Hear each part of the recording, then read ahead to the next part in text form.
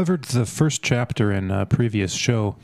I think one of the main points from there was the different types of inequality throughout history because like the type of inequality that we are familiar with is a relatively recent phenomenon pretty much from the advent of agriculture and before then in the paleolithic era the more tribal cultures there was inequality but it took a different form it wasn't really the the vast economic inequalities that we see. It was more status based.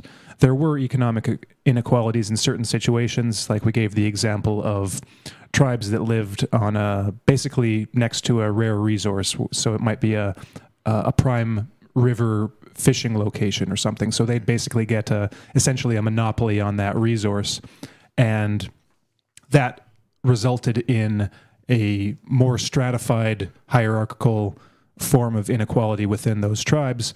But on the whole, things were pretty much um, well more more equal than any society after the advent of agriculture. And then once we get agriculture, that produces the the possibility for great inequality because now you have the possibility for surplus production. So once you have surplus production, it's a matter of who's going to control that and how are they going to control it.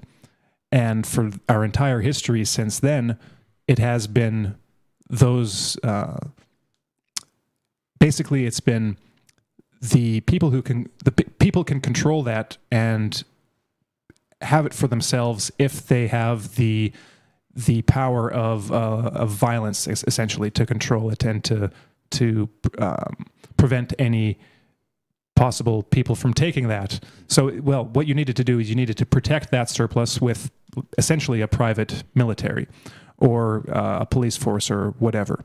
So there's for for the history of inequality and for the history of modern economics in the sense of like the last 10 years, there's been this um, this relationship, this almost intertwined relationship between wealth and um, possessing power, and that is like the the element of coercion and and the threat of violence and the use of violence. So there's been this link between violence and um, and wealth, and so that, like I said, allowed for a new form of inequality, like a a, a, a an inequality of a degree that wasn't even possible beforehand because now you have surplus surplus production. You've got the potential to create and to hold on to a lot more than will just basically let you live a subsistence lifestyle. But even then after that there are still variations in the types of inequality that we've seen since then. So this second chapter that we're looking at looks at the roman and the various chinese empires around the same time periods. So um, well, around 2,000 years ago, and then, you know, before or after. And Scheidel points out the, the mostly the similarities between those two systems, but also the differences. One of the things that stood out to me before getting into a lot of the details is that this was a form of inequality that um, that that doesn't have well it has some things in common again with let's say modern western societies and even eastern societies like china but there's a difference um, back then because these were still pre industrial societies. And so, one of the points, well, I want to get into just a little bit of the background to understand the types of inequality that Scheidel's talking about. He gets into like Gini coefficients and things like that. So, for those unfamiliar with that, Gini is a G I N I. It's basically a, a measure of the like a society's resources and then how those are distributed. So if everyone has exactly the same amount, that would be a Gini distribution of like zero. But if one person has all the wealth essentially and everyone else is just at subsistence, that would be like a one. Or I, th- I think that's the way it is. I'm not, or it, I don't know if it. I can't remember if one is one person has everything and everyone else will basically die. Yeah, I think that's what it is. Okay, yeah. yeah. So so basically, you can't. Get, in practice, you'll never get a Gini coefficient of one because most societies will um, like the majority of people will be at a at a subsistence level because they're essential for for well you need those people at the bottom in order to hold up the people at the top. If everyone else dies and you're the only person with all the wealth you're going to die too essentially. So there's always there's always um, there's always some wealth at the bottom even if it's just as at a subsistence level. But there's another limiting factor on the the Gini coefficient, and this is um, he gets into it in, in the appendix. And what it basically means is that if you take a society, um, it depends on how much, or like a nation or whatever, it, it depends on how much money and production that economy that yeah that economy produces. Because if you have, let's say, well, let's just take a hypothetical example of like this fictional country with hundred people. So the GDP might be hundred dollars.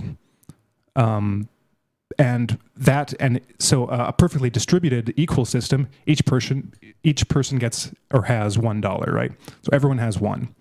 Now if you if this if the gdp is 101 then you have you can have 99 people with one dollar and then one person with two dollars. So that person has twice as much wealth as everyone else but the it's it's not a very big difference. The Gini coefficient is going to be really low because there's just not enough surplus to make a a, a big um, difference between the lowest and the top. So when you have, let's say, like a GDP of a million for these hundred people, and each person, 99 people are still making, still only have one dollar, and then one other person has essentially, you know, just shy of a million dollars.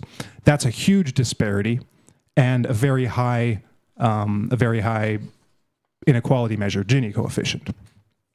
So in a, basically what that shows is that the, the Gini coefficient is limited by the, the total wealth or production within any individual country. So the point he makes about these, uh, these empires, the Roman and the Chinese, was that because they were pre-industrial, like their GDP, their well equivalent GDP, you know, trying to figure it out in terms of which we think about modern GDPs, wasn't very high. I think at one point he says that in the Roman Empire it was something like just maybe maybe two times um, like the subsistence level, and modern economies go several orders of magnitude higher than that above subsistence. So there wasn't a lot of there wasn't a lot of money relatively to go around. But the point he makes about about that is that in the Roman Republic, um, I'll just read a quote where he's talking about just the estimate he that he and others have come up with for the um, the the Gini of the the Roman Republic, or and may, maybe up to the time of the Empire too. But he basically says that during these periods there were like a hundred and what was it? Um, well, I'll, we've given the number. He's giving the number of households, and basically that about one 1.5 percent of all of all households captured between a sixth and close to a third of the total output. And this equated to about um, a, a Gini in the low 0.4s. And a lot of modern societies, like Western societies, are in the mid 0.4s or even up to like low 0.5s. So it's looks a bit a little bit low and comparable to modern uh, inequality. But he points out that this value is actually much higher than it might seem. Because average per capita GDP amounted to only about twice minimum subsistence net of tax and investment, the projected level of Roman income inequality was not far below the maximum that was actually feasible at that level of economic development, a, featured a feature shared by many other pre modern societies.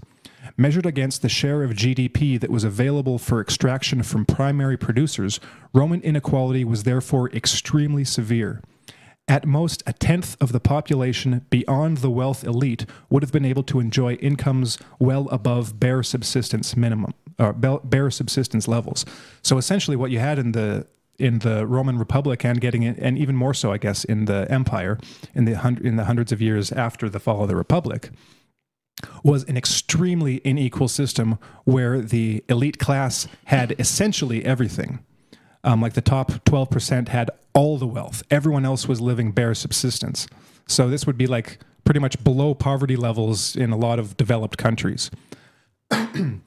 and um, but so their Gini, like that was the maximum Gini they could possibly have in order to survive.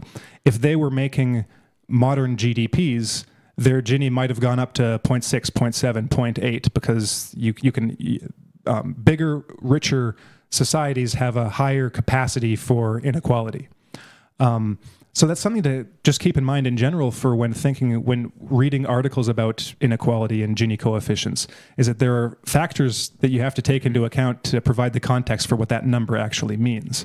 Because you can have a what seems to be a low Gini compared to other countries, but that that might mean that um, in uh, in essence, in practice, that that society might be vastly more more unequal than uh, a country with a higher um, a higher Gini coefficient.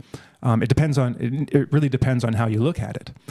So uh, a developing country with a Gini of 0.4 that might mean that pretty much everyone is in total poverty, and a tiny percent of the population has everything.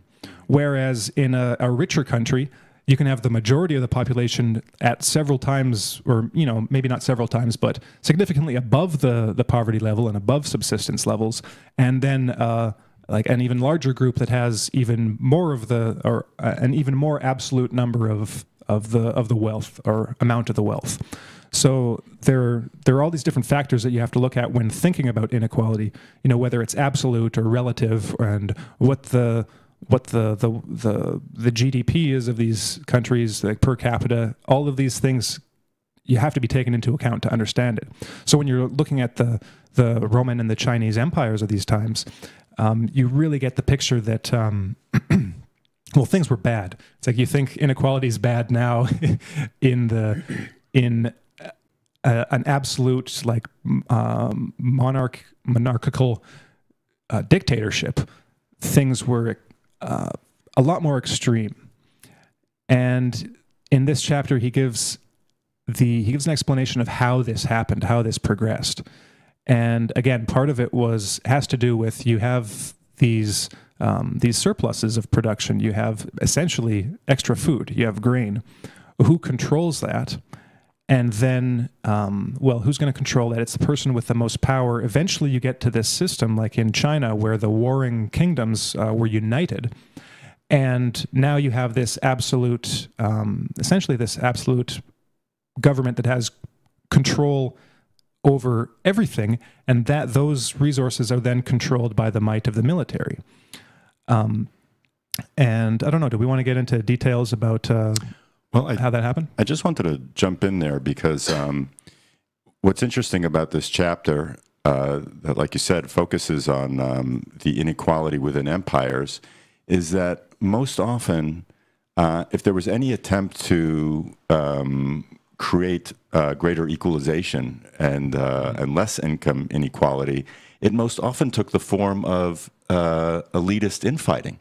In other words uh, occasionally, you had a revolt among the, uh, the, the peasant class here and there, especially in the in the Chinese Empire, um, and in the Roman Empire, you you did have um, a kind of uh, you know working class um, struggle, if you want to call it that, sort of uh, supporting those uh, those senators and those individuals who would you know like the Gracchi brothers who who would push forward with agrarian bills.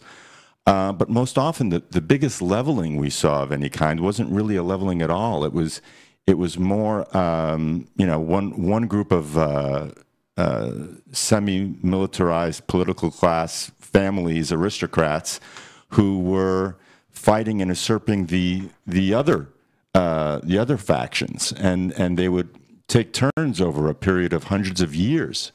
Um, you know, toppling one another. Mm-hmm. So, uh, the you know, taking a step back from it, the impression I got was that um, the the the working class or the or the slaves or the peasantry uh, were quite often so disenfranchised, so um, so afar from wielding any kind of uh, economic or political power that they they didn't even have the opportunity or the means uh, or a hint of it to um, uh, put forward any kind of viable way of, of maintaining a, a more equal distribution mm-hmm. of wealth.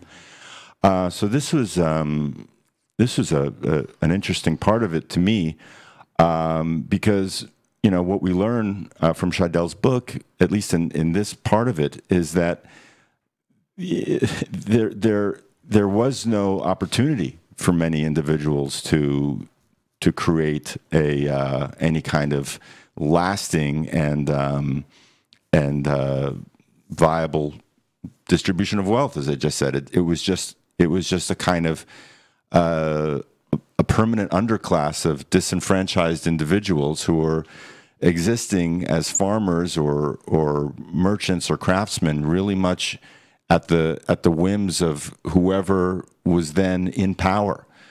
Um, and also uh, to put a point on it, um, you know, we like you said, Harrison. These are these are empires we're talking about. So uh, a lot of the a lot of the power that was held by the governments at the time was at the force of a military or a police state, uh, so to say, who who had administrative control over the courts and who were able to tax and uh, individuals and confiscate their land or redistribute it as they saw fit.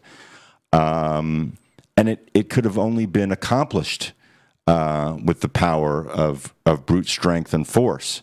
So, you know, as we as we kind of look at contemporary times a little bit, um, there are some differences, but certainly some parallels. I think on a on a global scale of, you know, what an empire uh, looks like and how it behaves, and uh, and what it does.